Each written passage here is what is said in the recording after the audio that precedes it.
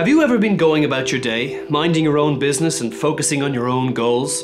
Well, then you need unsolicited advice. If you've ever been involved in a private or personal matter, then you may be entitled to unsolicited advice. Sorry, you shouldn't spend so much time on your phone. It's bad for your eyes. Yeah. Sorry, who are you?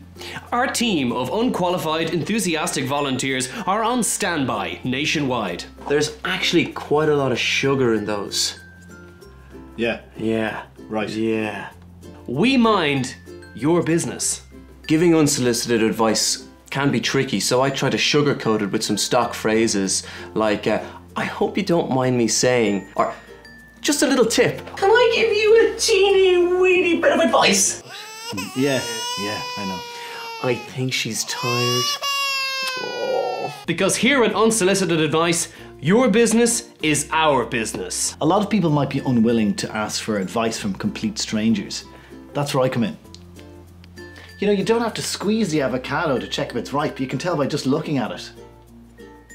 Because when you need us least, we're there. People can be so ungrateful, you know. They don't realize that you've taken time out of your day to ruin theirs. All the, all the way.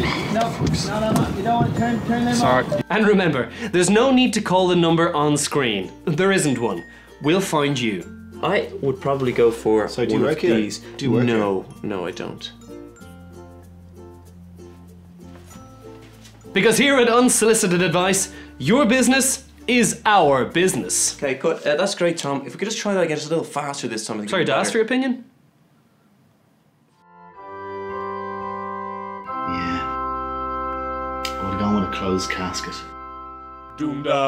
Before you boil the potatoes in the pot, okay, you can, you can boil them in the microwave for three minutes before you put them in the pot, and they don't take as long that way. And we are coming to Canada. Well, Halifax and Montreal. That's July. We're bringing hogwash back to the Edinburgh Fringe for five nights only. Eh, doom